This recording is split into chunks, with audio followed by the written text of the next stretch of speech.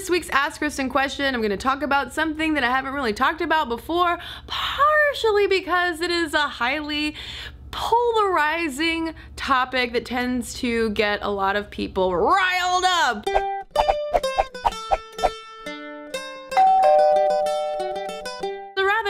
Superficial week on Stuff Mom Never Told You because on Monday I kicked things off with five girly fashions that men wore first. And I followed that up with do women wear too much makeup? On Friday it was seven ways shy people say hello because guess what y'all? I'm shy and I sometimes have a hard time saying hello. Now to Ask Cristen. First of all, thanks to everybody who watched and commented on last week's Ask Cristen video. Are pretty people stupid? A couple comments jumped out to me about not just face stereotyping, but boob stereotyping. Thalia Irwin said, From my experience, it's worse when you are busty and pretty. I'm an hourglass figure with straight A's for grades, but F cup breasts, and people tend to assume that my bust size is the same as my letter grade. Mrs. Threehorn said, I'm a moderately attractive double D brunette woman in her early 20s. Many people at work think I'm a complete airhead. They're genuinely surprised when I talk about computers and ask me how I know so much, like they're talking to a toddler. Clearly though, it's not just limited to Mrs. Threehorn's workplace. So I'm curious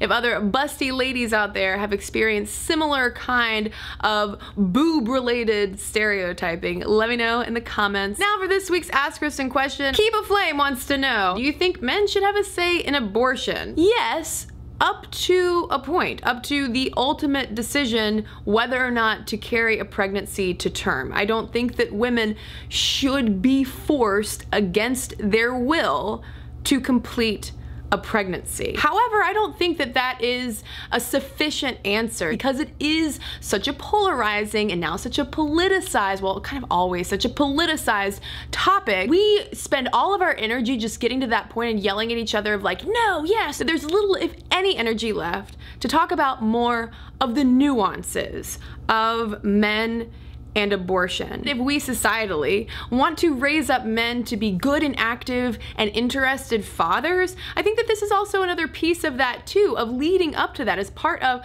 comprehensive sex education. Men need to know about abortion as well. This is also an area though that would benefit from more scholarly research and empirical data about men's roles in abortion. The small number of studies that have been conducted on this do find that men experience emotions around this the same way that say in the case of miscarriages. I think it's important to take that into account. I think it's important particularly for couples who are going through this and who make that decision to have a more holistic approach so that your relationship moves on from it more smoothly. Professor Boyfriend and I, in my experience, we have had the abortion talk. And we've had it at multiple times down the road as our relationship has gotten more and more serious. Ultimately, if we are at a point of disagreement, well, the, the tie goes to the uterus. I'm honestly sweating talking about this. I think I'm getting I think I'm getting an abortion flush. It shouldn't be this hard to talk about. All the more reason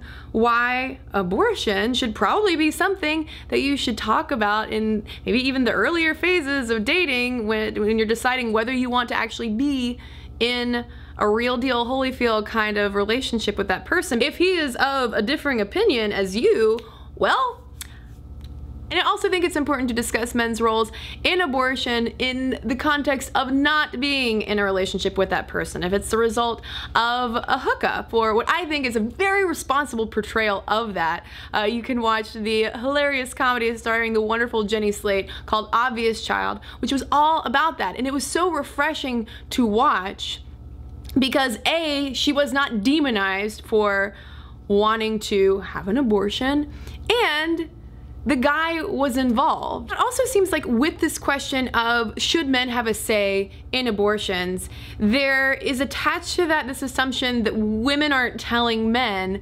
when they decide to terminate a pregnancy. And actually, the limited research that has been conducted on that suggests just the opposite. There was a 2011 study out of the Guttmacher Institute looking at this based on a nationally representative study of almost 9,500 women who had gone through with abortions.